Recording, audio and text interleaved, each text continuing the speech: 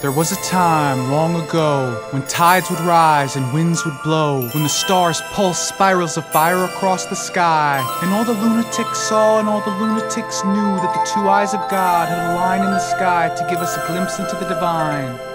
And though the sane may deny, we gazed through God's eyes and claim it was just some misfiring synapses flashing through a crack in our minds. We all knew it was true. We all knew we shared a view into something just too beautiful to prove. And they can't take that away from me and you.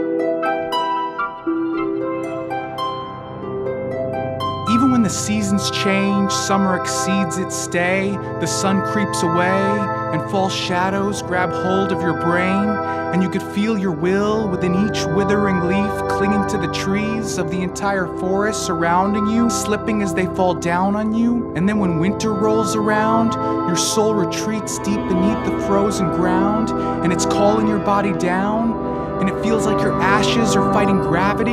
Even then, spring will come again and invite you to rise too high, and it's up for you to decide if you'll repeat those seasonal tides that will lay waste to your lives. But if you choose to live, you may look out at the sky and reminisce about those times when the sun and the moon would align, and each would find its other eye so that God could cry about what was lost and why.